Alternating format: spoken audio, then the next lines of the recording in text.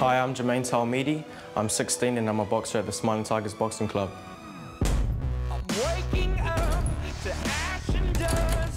Recently, I just won the New Zealand Golden Gloves title in the under 75 kg weight division.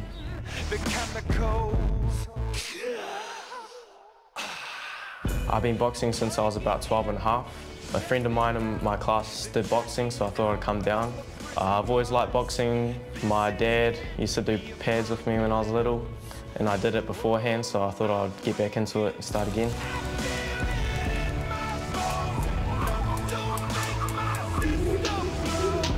I love boxing because it's an individual sport. If I do something wrong, if I, if I mess up, it's, it's my fault. I'm the only one to blame.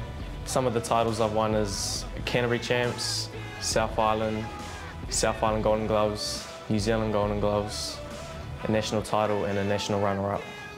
So I'm pretty happy with that.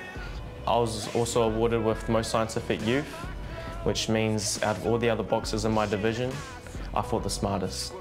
In three weeks' time, I'm heading to Australia to compete in the Australian Golden Gloves.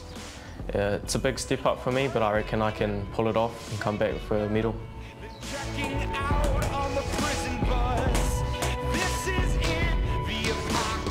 Ever since I started boxing, I've been coached by Mark Fuller. He's a good man, he's helped me and the boys a lot in the gym.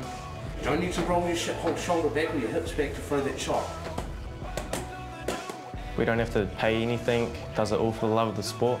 He's a bit rough, but we get the job done and we have a laugh while we do it. I've been coaching Jermain for the last four years and he's certainly uh, one for the future. Jermain's attributes are he's well dedicated, honest, and he's always showing the willingness to learn.